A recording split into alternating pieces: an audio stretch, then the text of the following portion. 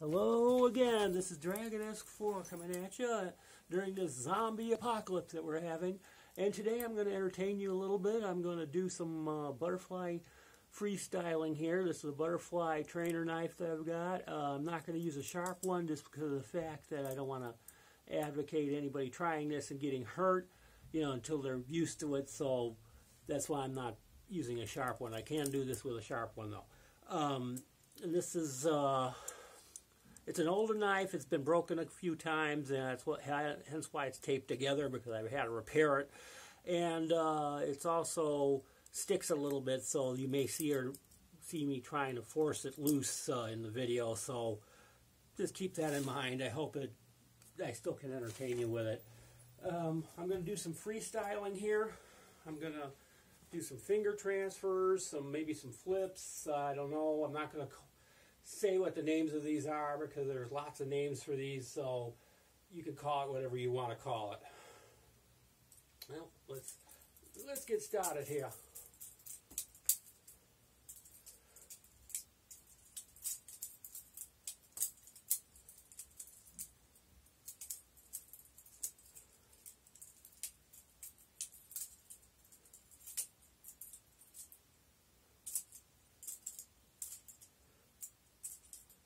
I, call this one the frog. I don't know what this is called, but it's when you hold it by the by the blade, and then you get the you force it back so the legs kick like a frog. I call that one a frog.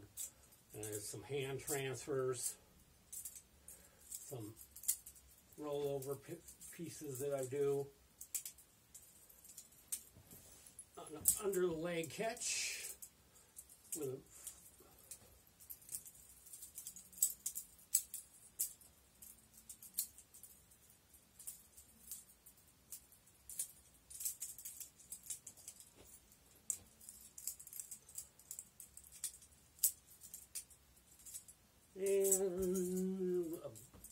bounce off the bed. That was that wasn't planned.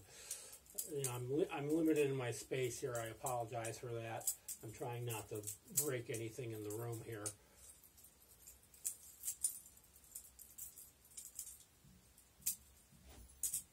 And on that note, I think that's good because I don't want to bore you. But hope you enjoyed that and be safe out there and hopefully everybody will be okay. And follow, keep following me and wait for more videos. And I may post a, I don't post on a regular schedule, but I'll try to post more. Bye.